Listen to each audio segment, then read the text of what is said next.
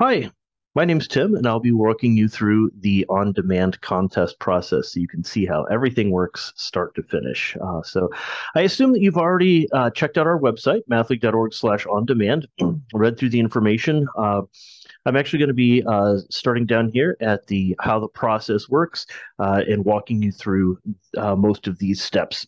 So first off, obviously, if you're going to want to take one of our contests, uh, make sure you're familiar with the tests, right? So uh, the instructions here indicate that you can go up to the top of the page and click whichever uh, type of test that you want. I'm going to open it in a new tab so that I can, I'm going to keep this on demand test page up the whole time so that we can always refer back to that.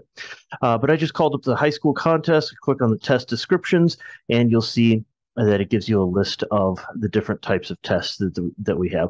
Also, uh, there is a link here for free samples of the tests. So we do want to make sure that you are familiar with what to expect. Uh, you know, for instance, on the sprint round, you're going to want to know that you have 60 minutes to take the test. You're going to want to know that calculators are not allowed for it, uh, that sort of thing. okay, so once you know what kind of tests we offer, um, hopefully, maybe you've even taken a look at the the sample PDFs that we have uh, then uh, you're ready to commit to taking the test. So, uh, in order to register for our contest, we do have to know what school you go to. So that's where uh, this next step comes in. Your school has to be listed in our database. Well, I'll show you the membership form here real quick.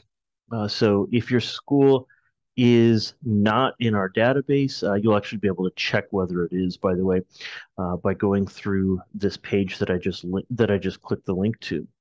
Uh, there's a there's a uh, link right here that says check to see whether your school has a membership. So you go through that. Uh, you can pick your own state or country. Uh, you know, pick whether you're elementary, middle, or high school, and then when you hit submit, uh, it will show you a list of what the schools are that are active for that school year. you can just scroll all the way down and take a look at the names of the schools, see if your school is there. Uh, if it is not, you can click back to the uh, the main membership page and you can fill out the membership form. Uh, now, this does need to be filled out by a uh, by an adult uh, over the age of 21. Uh, this could be a parent, it could be a teacher from the school. Basically, the point here is we need to have some sort of contact information for somebody that goes to that school so that we can reach out if we need to. All right, so we need we need a uh, current, uh, by which I mean this this school year, membership form for each school that has students participating. Okay, please understand that this does not mean that your school has to take has to officially sponsor our contest. Your school does not have to endorse our contest. Um, if your school is interested in that, we definitely encourage a teacher to fill out the membership form. Uh, but if you are uh, if you are just a, a family uh, taking the test, uh, you know one of the uh, one of the children is taking the test. You can have a parent sign up if nobody from the school is interested. Um, I should probably take this uh, opportunity to make it very clear that Math League policy for over 25 years has been that nobody, no one gets to tell you that you're not allowed to take a math contest. All right. So we do have a lot of times that um, parents come to us and they say, oh, my student can't take this contest because the school won't let me. Your school doesn't get to decide that. Your school cannot tell you what you can do with your free time. Math League is open to everyone. We welcome you regardless of whether your school wants to help. That's why we allow parents to fill out this membership form. If you uh, if you don't have any support from the school, you can be the school contact. All right, you don't have to get permission from your school. Your school has no legal authority to tell you what you can and can't do on your free time. And we want you to participate in our contest if you're interested. And we promise we will always defend your right to do so. Okay? We even have schools every once in a while I think most of the schools have learned by now not to pull this stunt, but we do have schools every once in a while that tell us that uh, we need to delete a student's registration because the school won't let them participate. Um, and we tell those schools that they are completely wrong about that, and they don't get to tell us what to do, and they don't get to tell you what to do.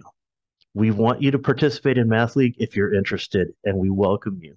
So, having said that, we do have an opportunity for the parent to fill this out. If a teacher from the school is not interested, uh, you do need to indicate the the actual name of your school, though. um, you know, like I said, we will defend your right to take our tests, uh, but what we will not defend is uh, is anybody trying to uh, give us a fake school name. Right? Uh, you don't get to tell us a wrong name just because your school doesn't want to participate. You still have to fill out this form, and it still has to have your actual school name in it. All right. So as long as you as long as your actual school name is listed on this form go through all the stuff down here you hit the submit button and your school will show up in our database then at that point then you can start registering for the test so the next step would be to select a contest at the bottom of the page uh, let me just scroll down there uh, so you can see which tests are eligible to enroll for. Uh, we have elementary tests, uh, middle school tests, and high school tests. When you see a blue entry, that means that it is live. You can click to register for that test right now. If the entry is in black and it says registration starts later, just come back on that uh, on that date where the registration starts, and you can register at that point. Now we could register for one of these contests right now. Uh, but I'm actually going to go through the practice test, and uh, you'll notice that right above the list of, of upcoming contests, uh, there's an opportunity to take a free practice test. So this is something you, that I certainly encourage you to do before you take one of our official online tests or on-demand tests. If you haven't already uh, experienced our online test platform, uh, the free practice test will be a great opportunity for you to do that. So I'm actually going to sign up here for a high school free practice test. Um, the reason I uh, the reason I'm doing the free practice test is because then I won't have to pay to actually take the test, right? When you sign up for one of these tests down here at the bottom, these are actual qualifying tests, and unless you have some sort of a fee waiver, and we do dis- uh, we do have some information about that up at the top of the page, unless you have some sort of a fee waiver, you're going to need to pay uh, an entry fee in order to take the test. The free practice tests, however, are set up so that you do not have to pay anything. All you have to do is register for the test and you're good to go. Right. So I'm going to pretend like I am in Arizona. uh, just find your state or country right here. Um, I'm pretending today because, well, uh, I'm not actually a student. I'll be honest with you. Um, I'm just showing you how to do it. However, uh, if we have an actual student taking the test, you don't get to make stuff up you have to actually tell us which state or country your school is located in. All right. So put the right information here, make sure and tell the truth, hit register now. And then on this next page, you'll see there's a bunch of uh, information that you need to read through. Uh, so we, we uh, would like for uh, an adult to register their students. Uh, and that adult is going to read through all this information, make sure that they can agree to our terms uh, and then select the name of your school. Again, I'm going to select just a random school here, uh, but when you do this, you are legally required to give us the name of the actual school you attend. Um, we're not interested in dealing with any fraud or any lies or anything like that. Uh, you have to tell the truth about which school you're you actually attend.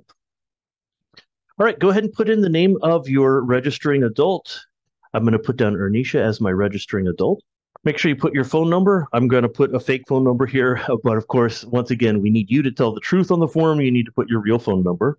And in this case, I'm going to be registering one student. Uh, if you're going to be registering more students, uh, just fill in whatever number you want up to the number 24. Um, now, I want to talk about that number 24. You'll notice down here at the bottom, there's space for 24 students to register. Please note that if we have more than 25, if we have 25 or more students, uh, we want you to email us so that we can send you a separate invoice. Um, this is uh, particularly for the uh, for the official test. All right, for the practice test, uh, just fill out as many of these as you want. I guess uh, for for any students that are taking it, you can fill them all. You can you can fill in as many as you want down here. You can submit another form if you have more than 24 students taking a practice test. But if you're taking the real thing, um, and you're going to end up paying to take the contest, uh, especially if you have 25 or more students, send us an email uh, because we have special pricing available for large groups and we want to make sure that you get the discount that you're entitled to.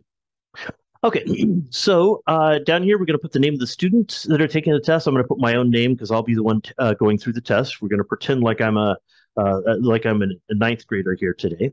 All right, so I'm selecting ninth grade. Uh, you are required to tell us what grade level you're in. Uh, you don't get to make this up either. Um, every once in a while, we have students who say, "Oh, uh, I'm in third grade, but I want to I want to compete as a fifth grader." That's not how Math League works. Math League works on truth. You have to tell us what school you go to. You have to tell us what grade you're in. You have to tell us what your real name is. That sort of thing. Um, it is optional to tell us your gender. You can, uh, we basically just take statistics to see how how well we're reaching out to various populations. And so, we, uh, if you have, uh, if you want to participate in that survey, you can. Uh, but you are required to give us your actual real grade, your actual real name. Uh, the chaperone. This is the person who's going to be watching you as you as you take the test. All right, so nobody gets to just go off and you know take the test unsupervised. Uh, we do need an adult in the room watching over you as you take the test, making sure you understand the rules and making sure you're following the rules. Uh, and it is that adult who then is responsible for uh, for your compliance with these rules. So, uh, whoever's filling out the form should be an adult filling out the form. It does not have to be the same person up here as down here, right? This form up at the top is for the person who is actually filling out the form, the adult who's filling out the form, getting their students registered. If somebody different is going to be physically in the room watching the student, that's what goes down here in the chaperone. All right, as far as the test language goes, um, there are a number of tests that we've offered translations for in the past. Um, every test is offered in English for sure, uh, but sometimes it will say on the test registration that there are other languages available. And if so, you can select another language. If it does not say, if it does not indicate that another language is available, then you need to just go ahead and select English because that would be the only uh, language uh, that is available. Uh, if we do have other languages, however, uh, that are listed on the regist on the contest listing, right, it'll say right here with this with this blue uh, line, it'll say if there's an, uh, uh, other languages available. Um, and if so, you're free to pick that language over here. Anyway, we're going to go ahead and register for the test in English. Uh, we're going to read through all the stuff. Uh, make sure that uh, make sure that the adult filling out the form has read all of this page, filled out all the information, and then down here you're agreeing to follow the rules. Imagine that. Um, now, down here at the bottom, you just need to write the number that's two plus three. I'll give you a hint. It's five. Uh, you'd be surprised how much spam that actually stops um, because the spam bots can't uh, can't parse that and they don't know that they just need to type the digit five here. But you do. And so you're going to write the five, you're going to hit the submit button, and then now you are registered for the test. Now, this should show up in your uh, in the email box of the adult who uh, registered the student. Uh, but it's also here as well. So you'll notice there's a bunch of uh, information here that you're going to want to read through. Uh, a lot of it reiterates what was on the previous page. Uh, this is the important stuff that you need to know, right? Uh, including the event number and the ID number. Please make sure that you have a record of both of those, the event number and the ID number. I'm going to leave this page here so that I can come back and copy and paste those two pieces of information when it's time. But we are now registered for the contest. So, uh, and I just looked at my email inbox and I see that I did get a uh, an email uh, indicating a confirmation of my registration. So let's come back to our on-demand page. Uh, what happens next after registering? Ah, we're going to log into our online contest platform. So here is the link to log into that. Let's just open that link. And the link is going to look like this. So you're going to type in your last name and uh, we're going to put in the event number, which if I go back to my registration page, I had, or you can look in your email confirmation for that. My event number is 10505. Let me just copy and paste that over here. ID number, if I go back to this page, the ID number is, says right here, ID number. So I'm going to copy that and put that into the page. All right, now the, the tests can be taken in any order.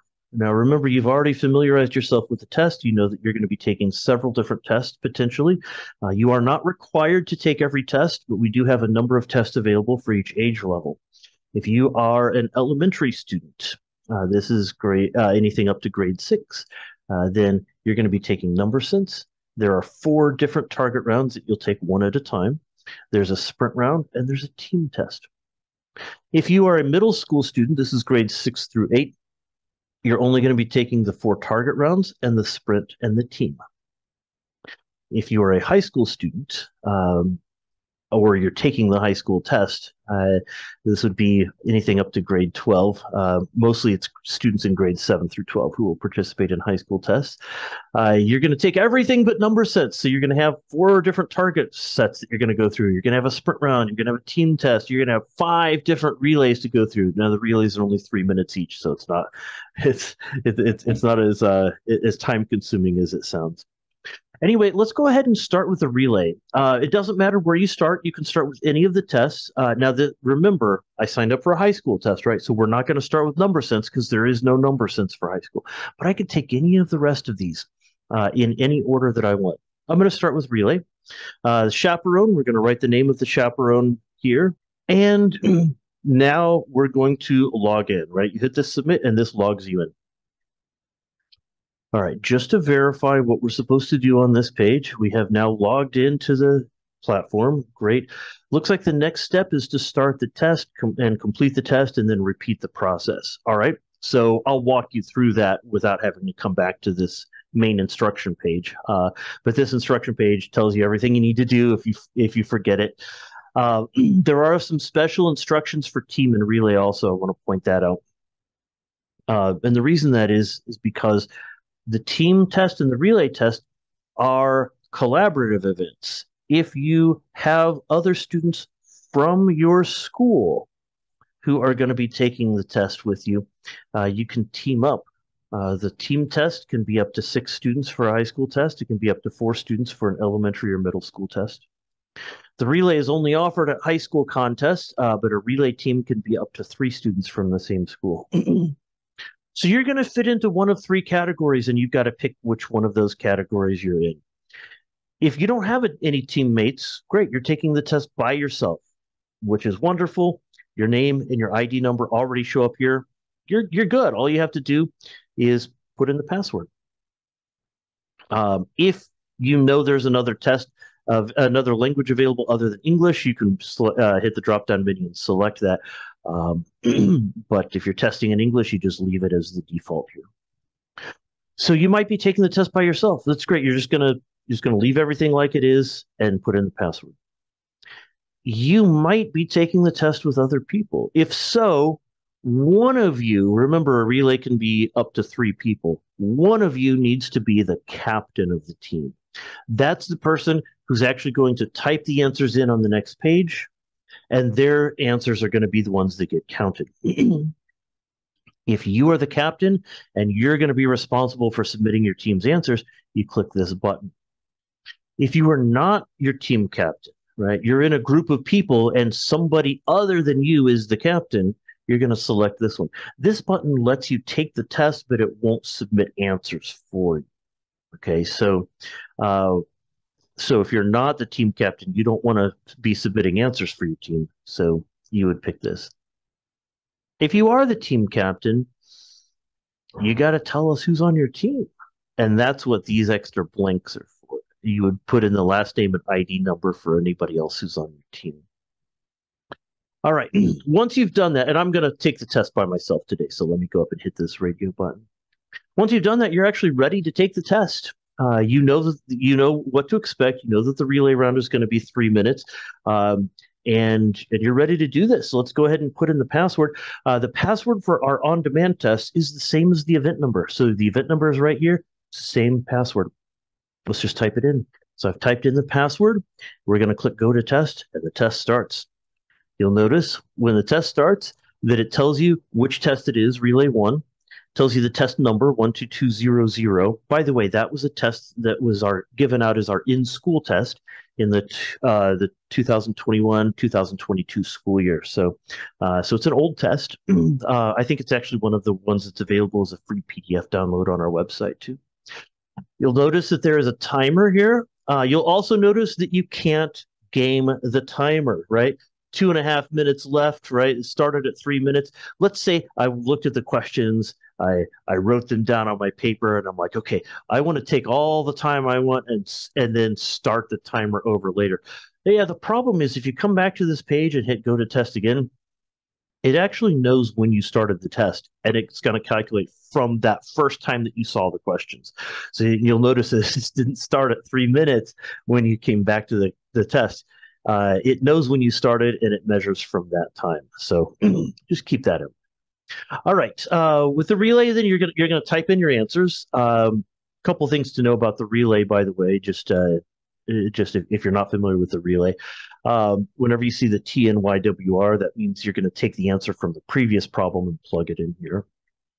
Uh, also, all the answers to relay are going to be integers. Uh, the, the format of the question demands that. They're all going to be integers in the range of 0 to 99. So let me just put in some answers here. Uh, we'll call this one 3. Maybe this one is 56. Uh, this one is 99. Okay. Now, I can either just sit here until the timer hits zero and it will automatically submit my answers and move on to the next page, or I'm done with the test and I'm not going to be changing my answers and I, I know that I'm not going to be work, doing any more work. I'm just ready to submit and move on. I can hit the submit answers button. Okay. Now, once you've reached this page, you'll notice that we have a confirmation. This actually should also, these answers should have been sent in an email to your chaperone. Um, so you can, as soon as you reach this page, you can actually have your chaperone check their email, make sure that this showed up. And as long as this information showed up in their email box, then you have a record of it. If it doesn't show up, save a copy of this page, right? Just go up to uh, you know go go up to wherever your tools are whichever browser type you're using um, and save a copy of the page uh, take a screenshot whatever so that you have a record of of what these were um, by the way once you've submitted uh, don't try to go back because watch what happens when you go back. Uh, it's either going to reset it's going to reset the timer to where it started the last time and of course once you do that then all of a sudden uh, the timer is off and you don't actually know if how much time is left and uh, if you let the timer run out at this point um, or if you submit it after it's uh, after it's uh, more than three minutes beyond the start time uh, then you're going to get an error message right? So i mean maybe you can submit again uh, if it's if the three minutes haven't elapsed. To see what happens though is at some point, uh, you know, if you try to hit that back button, you're like, ooh, I, am going to try to get an extra, you know, three minutes out of this. Well, it's not actually going to work that way uh, because, again, the system is measuring from the time you started, right? When you hit the back button, it doesn't reload the time. That's the thing. So don't rely on this timer. In fact, I'm just going to sit here, let the timer run out, and I'll show you what happens if you try to, uh, if you try to hit the back button and redo the test and get yourself all that extra time. Take a look.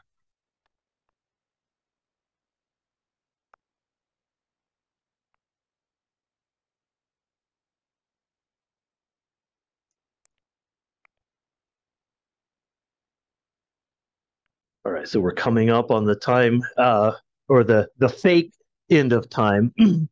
uh, but again, the system knows that it's been more than three minutes, right? This is a fake timer. You made a fake timer by hitting the back button when you weren't supposed to. Take a look what happens when it uh, when the timer hits uh, zero at this point, right? It goes back to your original time. It says, "Wait a minute." You've taken more than three minutes on this test, even though you gamed the system to make it display a fake timer. Uh, you've taken too much time and your test won't be great. So you do want to watch out for that. Okay basically the idea is once you've submitted the test, just go on to the next test. You're done with that test, right? Whether that means that you submitted it during the test or you waited until it's a time until it timed out. As you can see uh, from this example, it does uh, when it hits when it hits zero, whether it's a real zero or a fake zero, it's going to automatically submit the test. And then, of course, if it was a fake zero and you actually were already out of time, you're going to get this message. If it's a real zero, then you'll get that confirmation page like you saw before. Okay, let's go through and uh, you'll notice that if we, uh, you know, when you're done with relay one, you're going to pick relay number two. You hit submit. Uh, it's all the same deal, right? If you are the captain or if you're with people with other team members and somebody else is the captain, pick the appropriate radio button. If you are the captain, make sure your team members get in here. And of course, we just put the password in again. You're going to go to the test. You get a different set of questions here. This is relay number two now. You can see at the top of the page. Put in some answers. And when you're ready, you can hit the submit button. Now, there's one thing I want to show you about this uh, confirmation page. Once you're here, you don't actually have to hit the back button all the way to the to the first page. You can just click this here button, and it'll take you back to the first page with all your information populated again. Okay, so we've gone through two relays now. You you would have relay three, relay four, relay five. Uh, let's talk about what else there is. There's a team test. So you hit the submit button, you'd select the team test, hit the submit button. Notice there are more spaces here because for a high school test, you are allowed up to six people on a team. So again, if you are a team captain, you'll put the names and ID numbers of all your teammates in here. If somebody else is a team captain, you select this button. Remember, selecting that button means that your your test won't get auto submitted right? So you're not submitting any test if you're not a team captain. Your captain's submitting for you. And of course, if you're taking the test by yourself, that's fine too. Anyway, hit the password, go to test, and you'll see all the team round questions here. so just like with the others, you know, type in your answers. Uh, you're going to uh, do all the problems. You have 20 minutes to do the team test. You've got your timer counting down let it run out if you want to take the full 20 minutes, or if you want to be done with the test early, you hit the submit button, get to the confirmation page, check your email if you if this confirmation page came through. If it didn't, you might want to save a copy or a screenshot of this. And then you hit the here button to go back and take the next test. Uh, let's say we want to take the sprint test now. select sprint, hit submit. You'll notice that we don't have to put in any teammates here. So this is really just a matter of making sure you're uh, making sure your information is correct and then hitting the password. Go to the test. And the one thing I want to show you for high school and elementary school, our sprint test is multiple choice.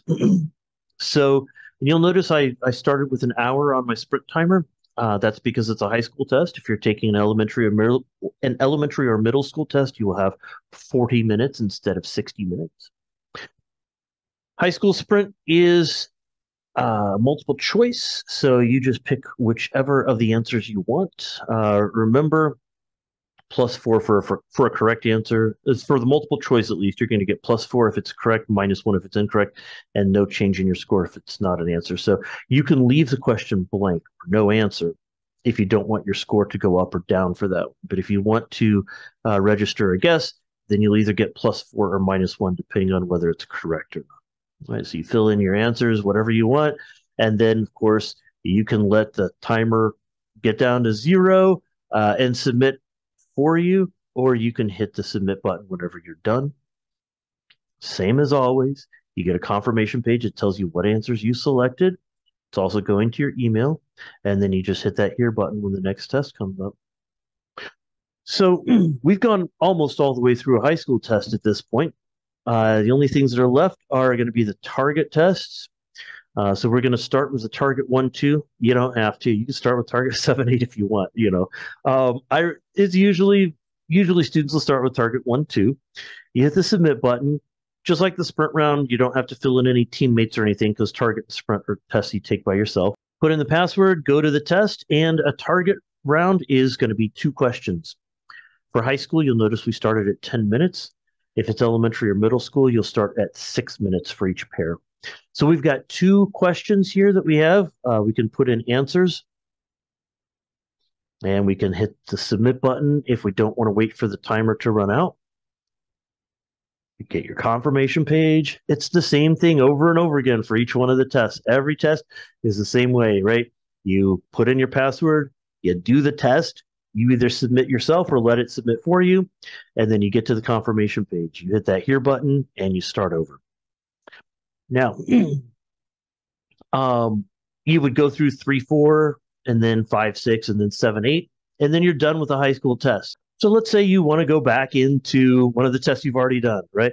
Ah, relay number one. Uh, I've already done that one, but uh, you know, I saw the questions, I wrote them down. I've, I've I've spent an extra couple days working on them, and I now I know I'm sure of the answers because I've because I've taken so many hours to do them. Let's go back in and cheat on relay one.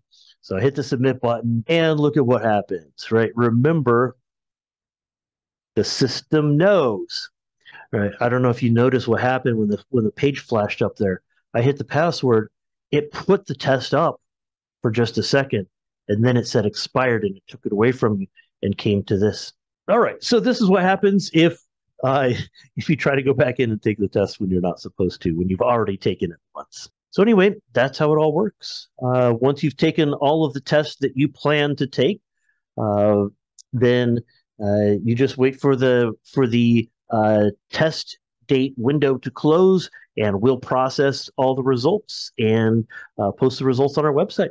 Um, again, if you're taking a practice test, uh, we're not actually processing those, so you'll never see a score for your practice test. But if you're taking an official online or an official on-demand qualifying test, then um, after the last day of the testing window is complete, everybody's had a chance to take the test. Uh, we process our answers, um, and we'll post the results so that you can see what your score is, and also whether you qualified for the championship round. Uh, so that's how it works. Uh, coming back to the uh, main page, I think our email address was on here somewhere. Uh, if you have any difficulty, customer care at mathleague.org is how you can get some assistance uh, if you're having any trouble at any point of this process. So, uh, good luck to you with the tests. thank you for watching this video, and we want to we want to wish you the best as you compete in our on-demand tests. Thank you.